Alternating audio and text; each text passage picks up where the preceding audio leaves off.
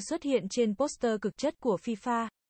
Tiền đạo Huỳnh Như đại diện cho đội tuyển nữ Việt Nam xuất hiện trên poster giới thiệu các đội tân binh World Cup 2023 của FIFA.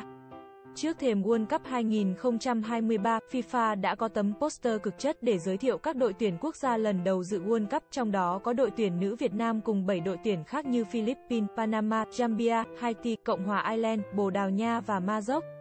Trong poster của FIFA, 8 nữ cầu thủ đại diện cho 8 đội tuyển tân binh của World Cup ngồi trên xe và chuẩn bị bước vào vạch xuất phát.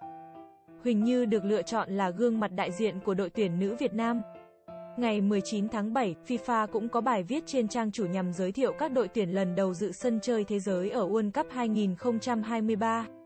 Tính từ World Cup 2003 đến nay, đã có 17 đội tuyển nữ ra mắt sân chơi thế giới. Chỉ 3 đội trong số này vượt qua vòng bảng, nhưng cũng đều dừng bước ở vòng 16 đội trong lần đầu dự giải. Những đội tuyển lần đầu dự World Cup đều nuôi giấc mơ vượt qua vòng bảng. Đó là giấc mơ chính đáng. Tuy nhiên, lịch sử chỉ ra rằng để biến giấc mơ thành hiện thực các đội tuyển tân binh của giải đấu, trong đó có đội tuyển nữ Việt Nam, sẽ phải nỗ lực hết mình, FIFA khẳng định. Đội tuyển nữ Việt Nam sẽ ở khách sạn để xem trận gia quân World Cup 2023 giữa New Zealand và Na Uy.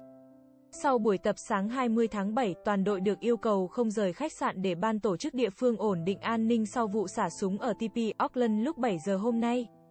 Cảm ơn các bạn đã theo dõi kênh bóng đá 24 giờ New.